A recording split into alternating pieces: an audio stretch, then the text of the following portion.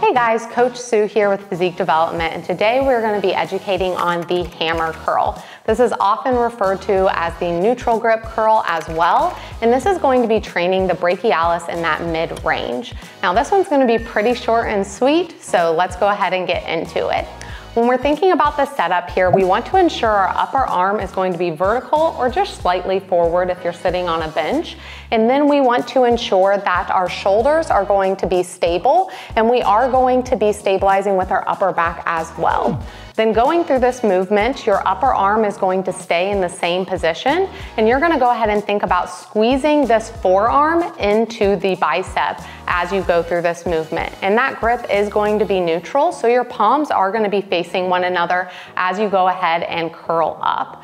Now, oftentimes mistakes that we see here are going to be swinging the weight as you're going through it. This might either be to lift more weight or just because you're unsure of how things need to be set up.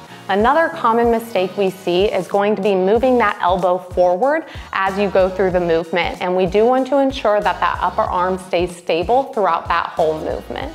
Like I said, this was gonna be short and sweet. Go ahead and let us know if you have any other questions on the hammer curl.